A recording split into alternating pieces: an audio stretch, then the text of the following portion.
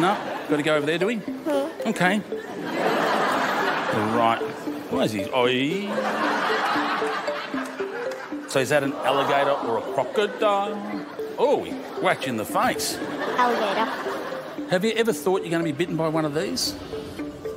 No, but I have been bitten by a little two-foot one, and he swinged over and bit my finger. Tell us about that. Do they latch on? Yeah, they latch on, and they kind of don't let go. Oh, they kind of don't let go. Mm-hmm. And how long was he latched onto your finger for? Probably about two hours. Did you just say two hours? Yeah. Gee whiz. Okay, in he goes. Why am I getting close?